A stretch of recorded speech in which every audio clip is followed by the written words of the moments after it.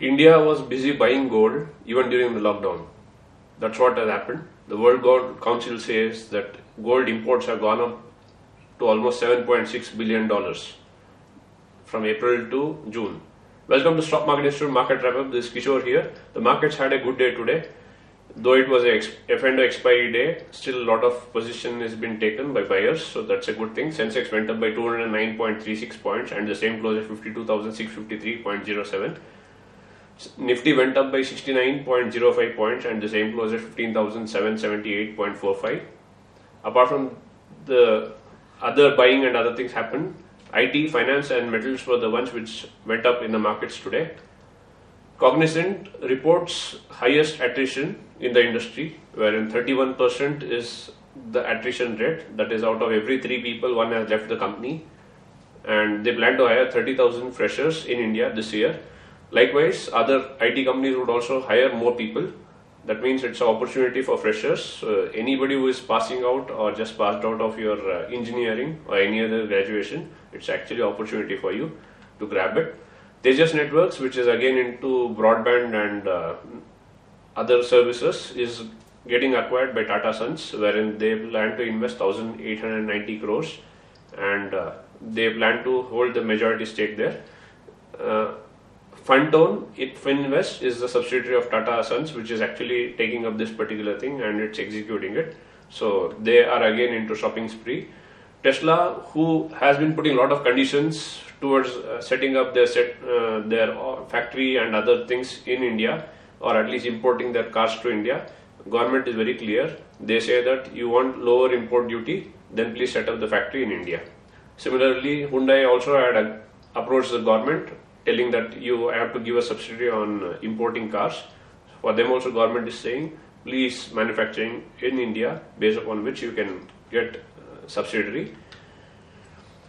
Minimalist, which is again a cosmetic company, homegrown cosmetic company, raised 110 crores in the Series A of funding led by Sequoia Capital as well as Unilever Ventures.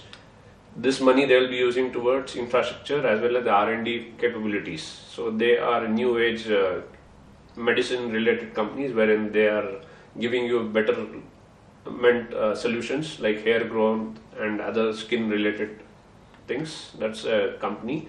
Rolex IPO, whose second day is today, has got subscribed by 8.84 times, and out of the bids that they have received, they have received bids of almost 2.87 crores, wherein they are just issuing 56.85 lakh equity shares. So that's a huge number. So tomorrow is the final day. I hope it should be a bumper one. Uh, Glenmark Life Sciences, whose final day is today, has got subscribed by 44.12 times, and uh, QIB portion that is qualified institutional bidders have bid for 36.97 times. 44.12 times is what the total bid is. That is 66.25 crores worth of amount of shares, wherein they are just giving 1.5 crores. So that's almost 60 plus times if I take it on an average basis. Top gainer for the day is Hindalco, which went up by 10.04% and the same closed at 458 rupee 10 paise. Top loser for the day is Maruti Suzuki. Even though they came out with good result, it's gone down. It's gone down by 2.39% and the same closed at 6,993.5. Gold, as I told you, is in huge demand. Though market is going up, still people are buying gold. From yesterday to now, gold has gone up by 512 rupees for every 10 grams, and the same is trading at 48,089 rupees. Silver also, there's no surprise there. Silver has also gone up by 1,473 rupees, and the same is right now trading at 67,863. So silver is on a rocket. USD has gone down by 22 paise. That's again a shocker, and the same is trading at 74, 74 rupee 96 paise. Euro has gone up by 19 paise and the same is right now trading at 88 rupee 46 paise. Petrol and diesel, there is no change in prices luckily, but internationally it is more or less flat. It is right now trading at 5402 rupees and the same is down by 1 rupee. The technical charts do not give us clear indication because of the momentum we don't know whether market will go up tomorrow or no. Luckily today global cues supported the market because of which it continues to go up.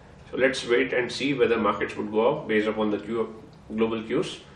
However, I would recommend you to go for vaccination and take care of yourself. Do like and subscribe the channel and share the videos amongst your friends so more people can get to learn and they can earn. Take care.